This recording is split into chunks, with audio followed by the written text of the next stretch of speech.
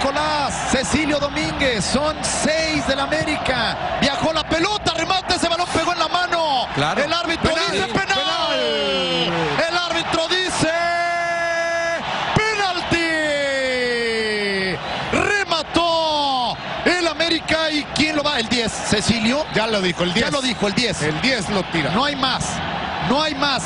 Pero, pero quiero ver la está, repetición. el 10, dice Miguel Herrera Yo que creo el que, 10 lo que sin repetición todos estamos de acuerdo en que era, ¿eh? Sí, porque va, va con la mano arriba. Y es cierto que el balón le pega en la mano. A ver si lo vemos aquí. Miren cómo va con la mano. Ahí Es está. penal. Sí, señor. Es penal.